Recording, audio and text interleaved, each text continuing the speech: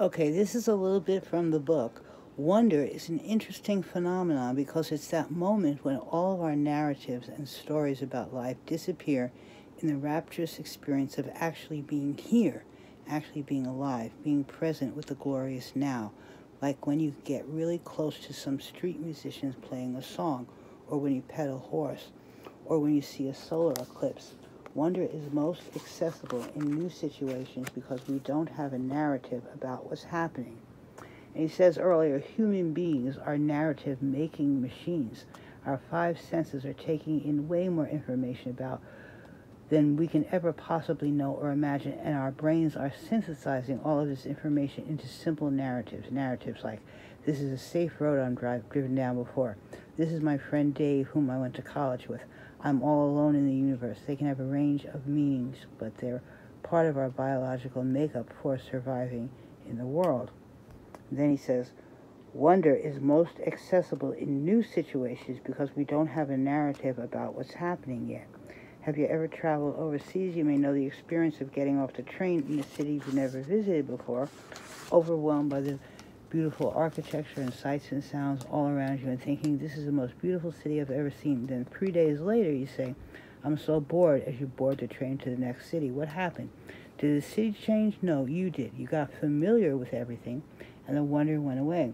What happens when we substitute the mechanics for the essence is that the wonder can go away. I'm not saying we have to start over every time to keep things interesting. It's helpful to find familiar rituals and practices that keep us grounded, but maybe what's happened to our celebration of Christmas is we've gotten so familiar with certain seasonal mechanics that we've begun to lose the wonder of the essence. Where is Jesus? If you've read the scriptural account, you know that after his death on a cross and his burial, he resurrects out of the grave three days later, Easter. He appears for a while in some mysterious ways to a handful of people. Then, on a mountaintop with his friends, he gives them a final commission and lifts into the clouds and ascends to heaven. So, I guess he's in heaven, and I'm not going to pretend I fully understand what that means. Okay, right? but I can't point to it on a map. Is it in the sky? Is it behind Jupiter, another dimension? If you ask a child in Sunday school where Jesus is, they will point to their heart, and that's actually not a bad place to point. Not that he's put his bed in your aortic valve, but in some mysterious way, the center of our being has always been the doorway to connecting with God. Jesus once said to his disciples that it would be better for us if he left because he would give us the Spirit that will always connect us with the divine maker of all things. Connection with the divine has evolved over time from a burning bush, a tent, a temple, a first century Jewish carpenter, and now the mysterious hidden portal within you.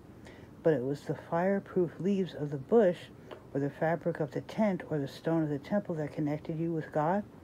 Or was it just the mechanics that helped you get to the essence? Where is Jesus now on his birthday? I honestly want to know. This was actually the scariest question to me a few years ago as I was examining the Christmas, Christmas, come on, page turner celebration I grew up with. I was afraid that all I would find was a love for the mechanics, but no real experience with the essence of Jesus. I wanted to have an honest Advent, one that actually prepared me for the coming of the hope of the world because I, and I believe we, need that hope more than ever. This book is an exploration of finding the God with us coming into our midst now. What I believe is that the essence of the birthday boy is hiding out in the mechanics of this life, the one you're living presently. That yes, we can look to candles, songs, and pageantry to help us connect to the divine, that we can also look to pregnancy, biology, history, and mystery as sacred meeting places with the incarnation of Christ. Back when I started making these illustrations, I began to share these images and meditations on Instagram and Facebook. What he says was that he got a lot of response from women. Christian majority of Christian imagery has been created by men, it's not too much to project that those men felt the reality of birth must be sanitized in our cultural celebration of Christmas. I mean, I get it. A birth is a roller coaster ride of biological wonder that is not for the faint of heart. but I do not think this sanitization has added another painful layer to the experience that women can have in Western religion, and we need to address it and push against it. Female biology has been stigmatized by mainstream religion far too long as an avenue for wayward lusts, a means of bloody uncleanliness, or a subservient incarnation to those who don't have a uterus. And yet, right there in the text is the celebration of a woman's biology as a means in which the divine incepted grew and emerged into this world that loves so much. If you've ever witnessed a birth, you know that every birth is a holy experience. So this is interesting because because what he says down here now, what he's going to say about learning and knowledge is something that I got out of this dream that I had last night. So that's kind of like one of those synchro mystical events, which is this It's a celebration of divine participation through the body of a woman. It has been with great humility and reverence that I created imagery depicting the female body in moments of pregnant journeying. I cannot fully understand what it's like to be in a body that is growing a baby.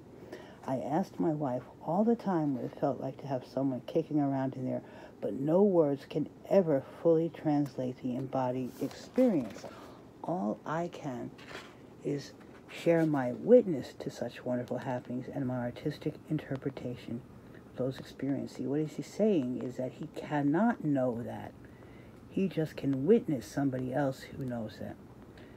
And that's what I, I got out of this dream last night. But this book offers 25 word and image meditation. But he says something here. We are often use words as a way to connect with ideas, but I think it's important to offer imagery as well. My suggestion is to spend a minute with each image. Let it excavate you. A great question when it comes to art is what does this mean? An even better question is what is this pulling out of me? Art has that glorious excavating quality, so don't miss out. Excavating. Let me also note that I play with spiritual language in this book. When we talk about Jesus, we talk about a man, so I naturally refer to him as him. But with God or the Spirit, I may use a non gendering reference such as it or they. I do this on purpose to pull us into the greater mystery of the divine that demands us to evaluate how we speak of it and remove us from assumptions of divine gender. It also is to remove any unnecessary barriers that could get in the way of readers who are trying to find themselves in this story that is for everyone. It is not a diminishing choice, but rather an enlarging invitation I offer to you. My hope is this book awakens the wonder of God with us in you by contemplating how it happened back then and also here and actually right now. I hope it can be a visual and lyrical companion as we enter into this season of anticipation, waiting for the coming. Hope we deeply long for, and may it be the tasty cake at the birthday party that is still happening today just as it did 2,000 years ago. And I love that this came in August to think about, start thinking about Christmas right now. And then here's the first image, which is Annunciation. So I have to share this with you. And it's Luke 1 28. Gabriel appeared to her and said, Greetings, favored woman, the Lord is with you. Confused and disturbed, Mary tried to think what the angel could mean. Confused and disturbed. So here what we have here now is angel comes. She gets disturbed not like, oh, wow, this is cool. Here's an angel. You know, oh, I'm calling in the radio show. I had an experience with an angel. She gets confused and disturbed. Here's the image.